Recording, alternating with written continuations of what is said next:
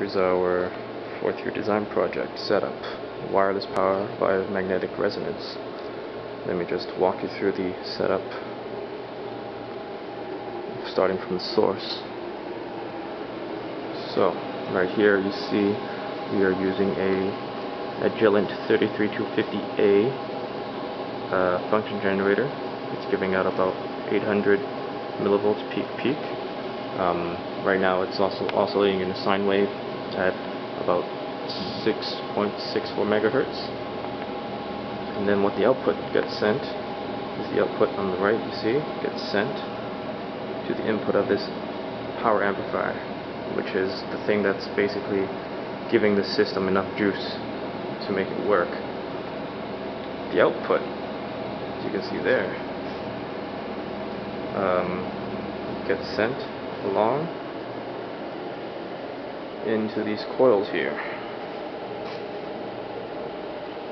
This transmitting coil and as well as the receiving coil is uh, 60 centimeters in diameter and right now they're about 70 centimeters apart.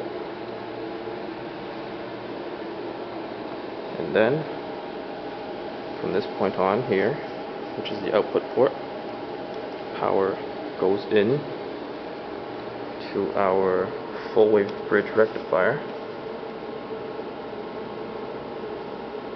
And then the output basically gets sent to our load. As you can see there there is a battery getting charged at the moment.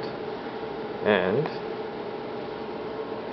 as you will also see here it is also connected to uh, my phone. Now let me just get this in focus. Just turn this on.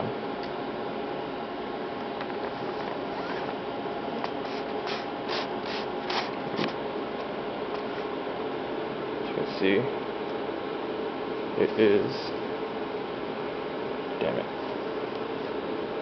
charging in the top right corner of the phone.